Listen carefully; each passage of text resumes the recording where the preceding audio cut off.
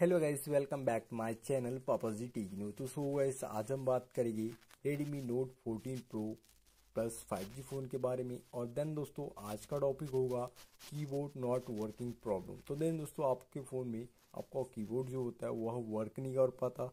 Then उसमें आपको problem होती है तो उससे आप कैसे ठीक करेंगे?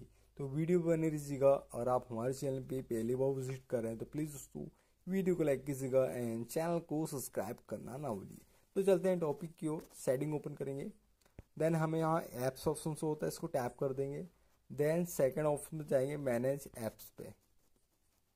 देन यहाँ हमें फ़र्स्ट ऑफ़ ऑल यहाँ पे थ्री लाइन शो होती है ऊपर की टाइप इसको टैप करना है। देन यहाँ पहला ऑप्शन होता है हाइड सिस्टम इसको टैप कर देंगे पहले ऑप्शन को। अब यहाँ पे हमें सर्च बार को टैप कर लेना है और देन यहाँ में हमें जीबोर्ड सर्च कर लेना है। जैसे कि मैं इसे जीबोर्ड सर्च कर रहा हूँ। तो देन यहाँ जीबोर्ड नहीं आ रहा है। तो देन हमें यहाँ पे, जैसे कि हमने जीबोर्ड सर्च किया, नहीं आ रहा है।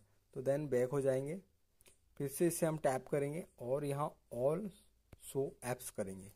क्या यहाँ ऑल एप्स नहीं शो होते? तो देन हम यहाँ पे आप सर्च मारेंगे जी बोर्ड तो जैसे कि हम जी बोर्ड सर्च मारेंगे ऑप्शन आ जाएगा ये। तो टैप करेंगे। देन टैप करने के बाद फ़र्स्ट ऑफ़ ऑल आपको यहाँ पे कुछ ऑप्शन होते हैं। तो हमें यहाँ पे नीचे ऑप्शन होता है, इसको टैप करना है। देन क्लीन डाटा कर देना है। देन उसके बाद एप्स परमिशन ऑप्शन होती है, इसको टैप करेंगे। और यहाँ पे कुछ परमिशन रहती है, अगर आपके फ़ोन में अलाउ नहीं है। अलाउ है तो ये ऊपर शो होगा अलाउ अगर दो देन अगर अलाउ नहीं है तो यहाँ नॉट अलाउ शो होगा। तो आप इनको अलाउ कर दीजिएगा। और देन अलाउ करने के बाद आपके फ़ोन में कीबोर्ड प्रॉब्लम सॉल्व हो जाएगी। तो दोस्तों, इसी प्रकार से आप अपने फ़ोन में कीबोर्ड प्रॉब्लम सॉल्व कर सकते हैं। तो वीडियो अच्छी लगी हो तो प्लीज़ वीडियो को लाइक कीजिएगा। एंड चैनल को सब्सक्राइब करना ना भूलिए। तो मिलते हैं नेक्स्ट वीडियो में। जय माता